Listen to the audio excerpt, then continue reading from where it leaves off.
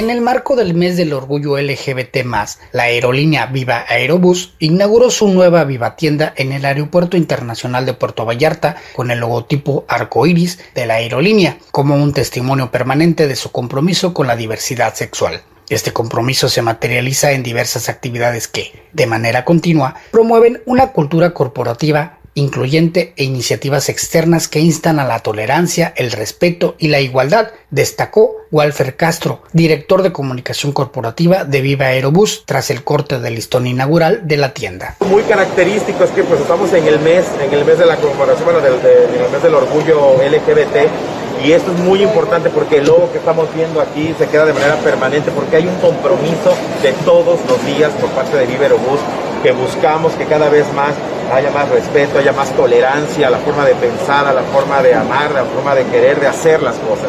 Ese es el respeto que estamos buscando y esta empresa se suma. Por eso esta Viva Tienda es un, es un ejemplo de, ahora sí que es un, es un ejemplo eh, simbólico sobre que fortalece este compromiso.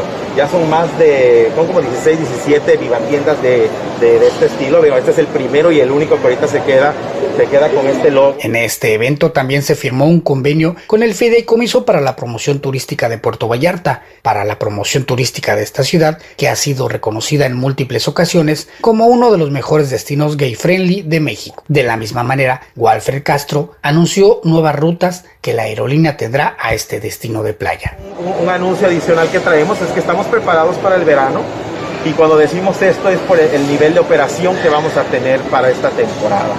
Porque de los vuelos tradicionales a los destinos que tenemos vamos a incrementar las frecuencias a destinos como están en Ciudad Juárez, eh, desde también Guadalajara, Monterrey, Ciudad de México. Y por ejemplo, un dato, va a empezar un vuelo diario en esta temporada, un vuelo diario desde Guadalajara, Vamos a tener dos vuelos a la semana desde Ciudad Juárez. Eh, vienen este, tres, tres vuelos al día desde la Ciudad de México. Y algo impresionante son cuatro frecuencias al día desde la ciudad de Monterrey. Esta apertura es el reflejo de la recuperación económica del destino que se prepara para el periodo vacacional de verano, el cual se prevé muy favorecedor para esta ciudad. Señal informativa, Javier Frías.